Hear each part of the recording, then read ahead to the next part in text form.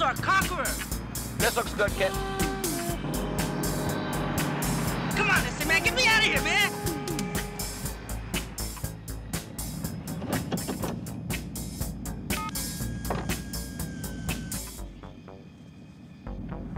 They saw me, man.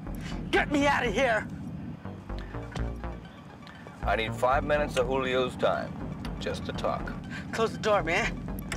They're gonna rip me apart. Where's Julio?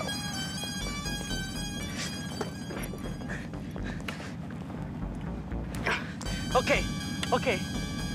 I'll take you to him, but I gotta make a phone call first. Just close the door. Okay, got yourself a deal.